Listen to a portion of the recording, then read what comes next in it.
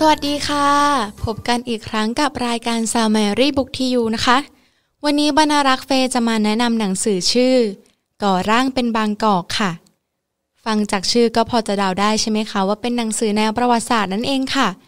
หนังสือเล่มนี้มีเลขเรียกหนังสือคือ DS 569วอแหวน83 2565 เขียนโดยคุณเอ็ดเวิร์ดแวนรอย และได้รับการแปลเป็นภาษาไทยโดยคุณยุกติมุกดาวิจิตค่ะ ก่อร่างเป็นบางกอกเล่าถึงประวัติศาสตร์ของเมืองบางกอก ผ่านสายตาของนักวิชาการต่างชาติ ที่อาศัยอยู่ในประเทศไทยกว่าครึ่งศตวรรษค่ะ โดยเป็นประวัติศาสตร์ของบางกอก ตั้งแต่เริ่มกลายเป็นเมืองหลวงของสยามในปี 2535 กล่าวถึงเหตุการณ์ทางประวัติศาสตร์ ชนชาติต่างๆ ที่เข้ามารวมกันในเมือง วัฒนธรรมที่หลอมรวมกัน จนกลายเป็นเมืองบางกอกค่ะด้านท้ายยังมีบรรณานุกรมไทยเล่ม เหมาะไปค้นคว้าศึกษาต่อ และมีดัชนีไทยเล่มให้เปิดค้นดูคำศัพท์ที่ปรากฏในเล่มได้ด้วยค่ะ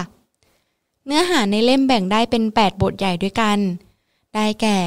บทที่ 1 บางกอกดั้งเดิม ภาพรวมทางประวัติศาสตร์ชาติพันธุ์ รัตนโกสินทร์ อัญมณีแห่งองค์อิน บทที่ 2 ผู้บุกรุก ชุมชนศาสนิกชาวโปรตุเกส บทที่ 3 แดนสวรรค์อันปลอดภัย ผู้ลี้ภัยชาวมอญบทที่ 4 ภายใต้การขู่เข็นเฉลยศึกชาวลาว บทที่ 5 อัตลักษณ์ที่ช่วงชิง ชนกลุ่มน้อยชาวมุสลิมจากแขกอิสลาม บทที่ 6 ปรับมังกรให้เชื่อง ชาวจีนผู้ขับเคี่ยวจากเมืองจีนสู่แดนสยาม บทที่ 7 บริเวณชายขอบชนกลุ่มน้อยอื่น